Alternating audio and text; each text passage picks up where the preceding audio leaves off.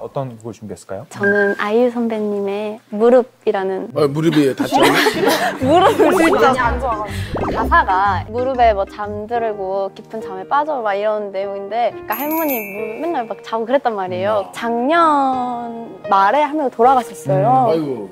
그래서 이제 그때 연습생 때부터 들으면서 되게 좋아했는데 이제 다시 들으니까 되게 슬프더라고요. 생각이 나고 네. 어떤 그런 아픔을 갖고 계셔서 지금 이 부르는 노래가 각별하게 느껴질 것 같습니다. 아주 소중한 곡일 텐데요.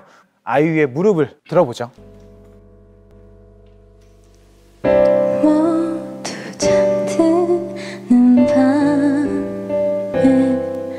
혼자 우두커니 앉아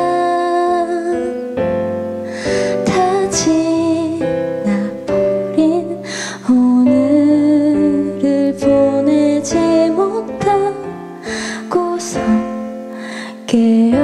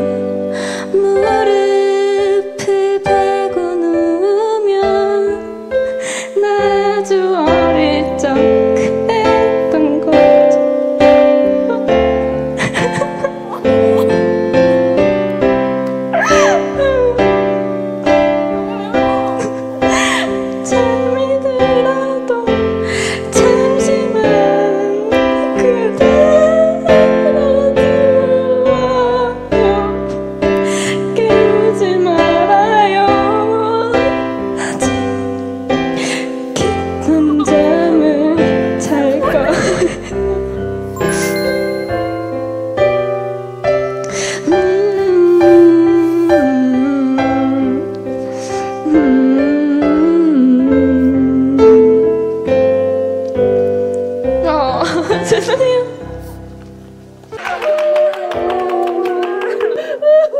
이번엔 너다 오네. 옛날 힘들고 어려웠던 시절에 자꾸 떠올라서 그렇지.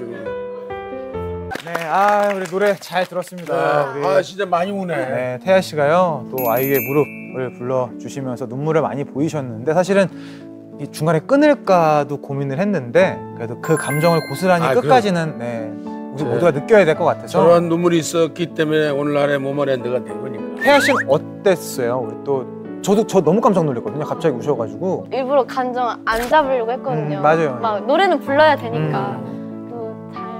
네.